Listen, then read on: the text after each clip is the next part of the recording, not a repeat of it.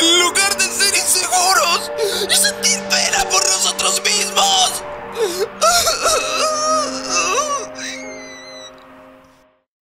Por supuesto, es necesario que pasemos por el fuego de la prueba. He sido consumido por un fulgor que envolvía todo aquello que me rodeaba. Aún sigo reviviendo esas memorias grabadas en mi cuerpo, en mi piel. He deseado quitarles aquello que me han robado, lo que le han arrebatado a mi familia. En esta vida, lo único que anhelaba era su sufrimiento. Quería que cada uno de ellos agonizara y temiera antes de su inminente muerte. Buscaba la venganza contra él, contra César. Intenté atribuirle la carga y la ira que llevaba a Dios, hacerme creer que era un instrumento de justicia divina y justificar las cosas que hice. Pero fui yo quien encendió estos fuegos en mi alma. Ni Dios, ni ellos.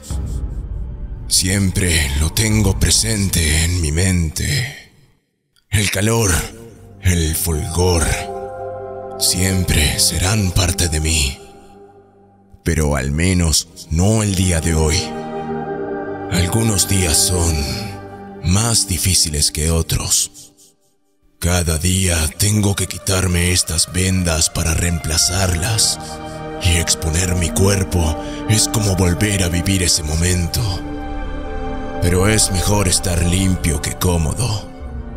En ese entonces sobreviví porque el fuego en mi interior ardió con mayor fuerza que el fuego que me envolvía.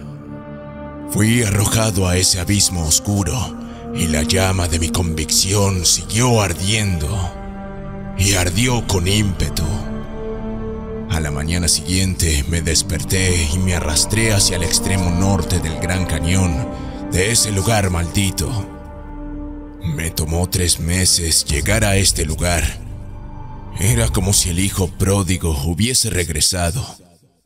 Me recibieron como si jamás hubiese partido, como si nunca les hubiese traído vergüenza.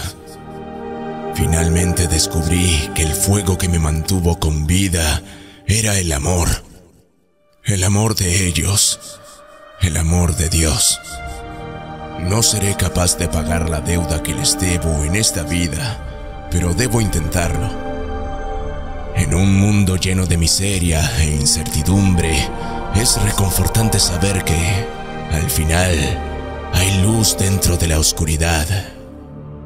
Cuando los muros comienzan a derrumbarse, cuando pierdes todo aquello que tienes, siempre tendrás a tu familia. Para muchos de nosotros el camino es dificultoso, pero el sendero siempre estará ahí para que lo sigamos, sin importar cuántas veces caigamos.